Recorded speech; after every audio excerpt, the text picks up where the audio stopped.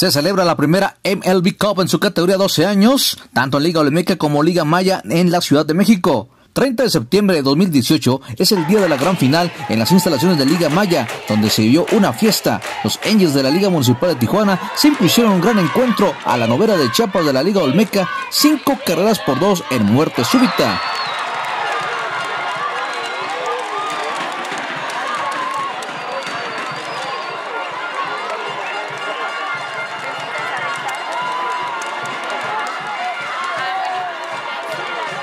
Antes, por el tercer lugar, la Liga Mandarina de Nuevo León ganó a la Liga Treviño Kelly de Tamaulipas.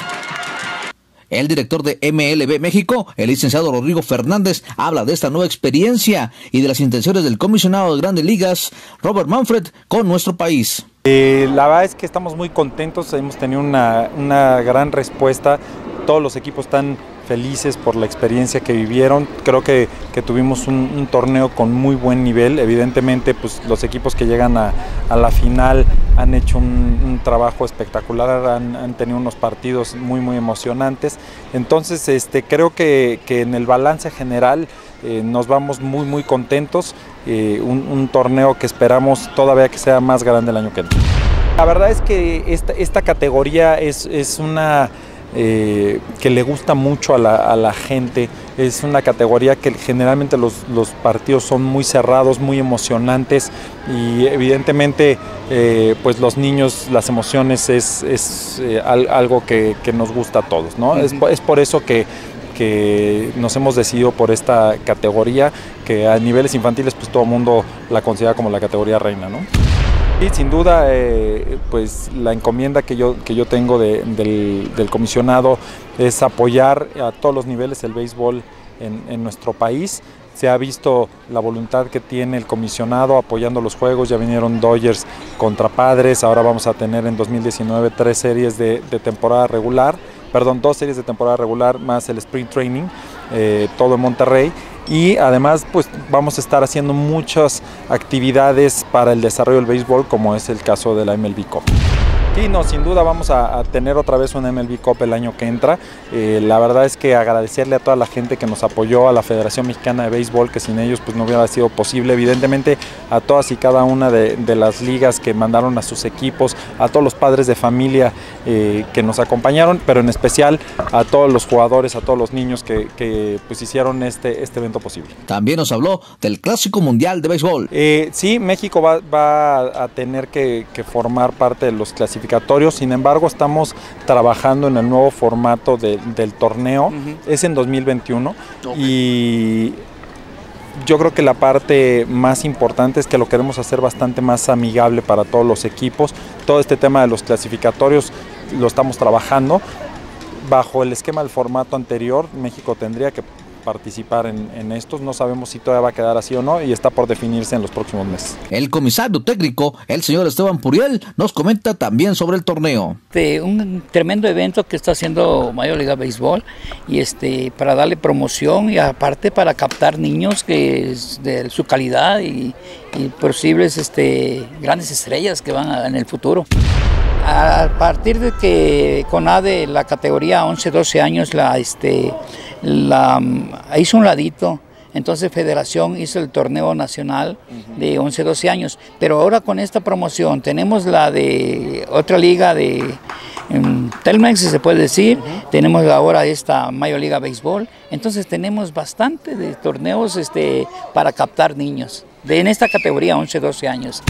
Acuérdate que para esta categoría tenemos torneos panamericanos y tenemos torneos mundial.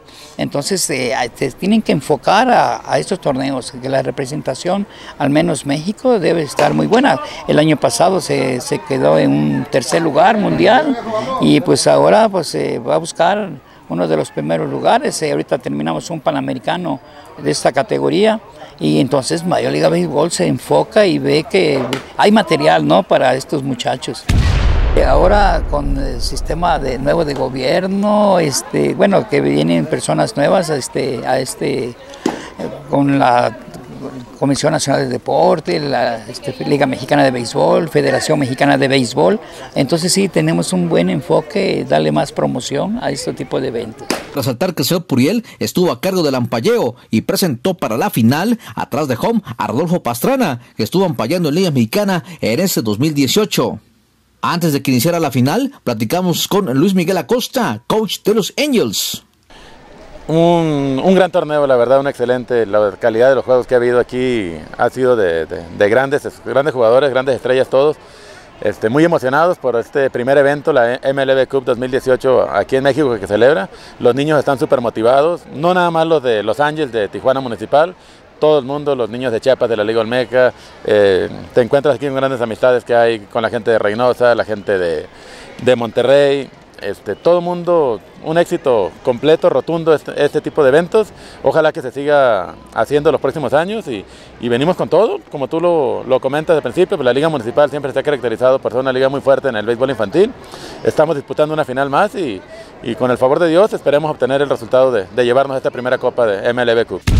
De la gente de Major League México nos comentó esa, esa parte, que lo que la experiencia que quería por parte de ellos que vivieran los, los jugadores, los niños, es algo similar a lo que viven los beisbolistas profesionales, ¿no?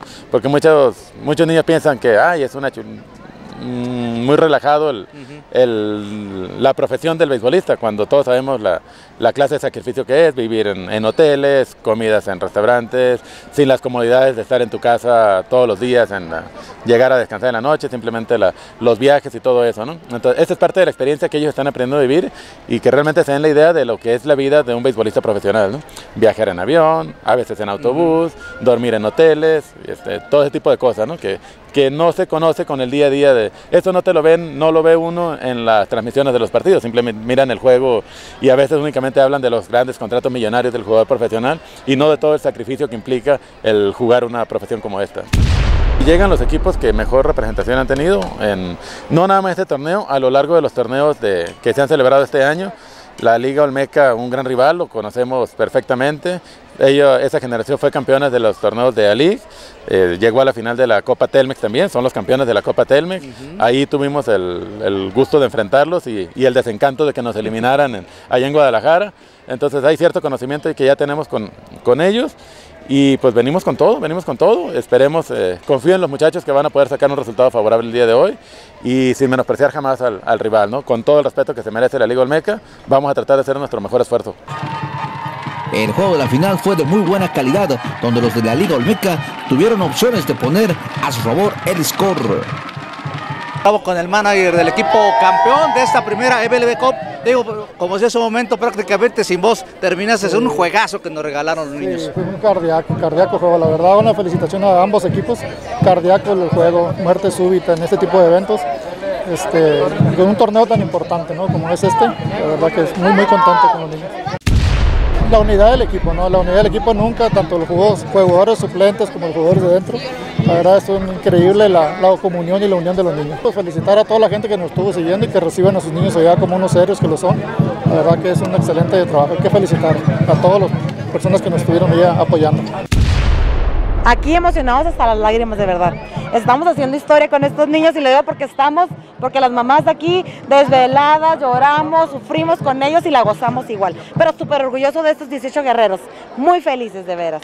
Pero les dieron este regalo, ¿no? Y además son los primeros de esa Exactamente, eso es a lo que me refiero, es la primera generación, lo primero que estos niños, y más porque también sabe que vienen esos niños desde los cuatro años juntos luchando. Y ahorita se ve el resultado, ¿verdad? Felices por esos niños y orgullosos. Pero a festejar, ¿no? Platicamos con Dominic Hernández, que fue el que dio el batazo oportuno en la séptima entrada, el del Gane, y además también con el pitcher que se llevó el triunfo, Emiliano Brito, que además también dio un imparable para impulsar la última carrera de su novena. Feliz porque es mi primer campeonato. Además, lo dice el batazo en el momento oportuno, ¿no? Sí. Siento yo que había presión, ¿cómo te sentías ahí en el plato? Presionado. Ajá. Porque ya estaba la cuenta llena. Saludos a Tijuana. Eh, pues es una experiencia más. Eh, me alegro de haber ganado porque hace mucho que no gano. Uh -huh. El manager cuando saltaron para lo que fue este, la muerte súbita, ¿les dijo algo a ustedes?